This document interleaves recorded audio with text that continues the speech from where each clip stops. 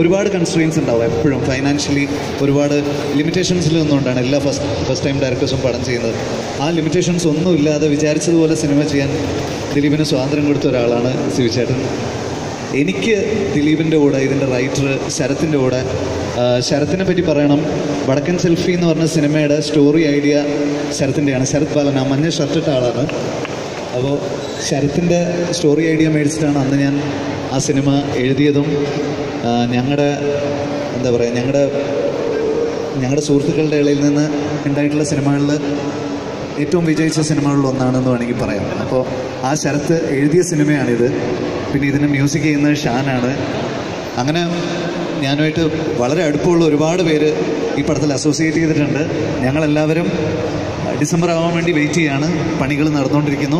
നല്ലൊരു സിനിമയായിട്ട് നിങ്ങളുടെ മുമ്പിൽ എത്താൻ പറ്റുമെന്നുള്ളൊരു പ്രതീക്ഷയോടെ ഞങ്ങളെല്ലാവരും വർക്ക് ചെയ്തുകൊണ്ടിരിക്കുകയാണ്. പ്രാർത്ഥന ഉണ്ടാവണം. സിനിമ ഇവിടെ തന്നെ വന്ന് ഇവിടുത്തെ പി വി ആറിൽ തന്നെ വന്ന് നിങ്ങൾ കാണണം എന്ന് അഭ്യർത്ഥിച്ചുകൊണ്ട് മറ്റു തിയേറ്ററിലും പോയി കണ്ടോളൂ. ഇവിടെയും വന്ന് കാണണം എന്ന് അഭ്യർത്ഥിച്ചുകൊണ്ട് നിർത്തുന്നു. നന്ദി നമസ്കാരം. താങ്ക് യു സോ മച്ച് എന്റെ അമ്മയുടെ ജിമിക്കി കമ്മൽ.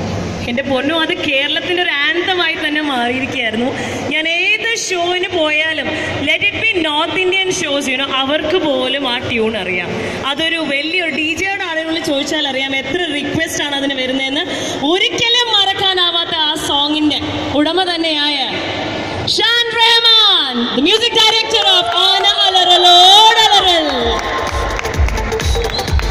എന്താണ് ചേട്ടാ സക്സസ് മന്ത്രം? ഒന്ന് എല്ലാരോടൊന്ന് പറയണേ. ഗുഡ് ഈവനിങ് സമയമുണ്ടാക്കി ഇവിടെ വന്നതിന്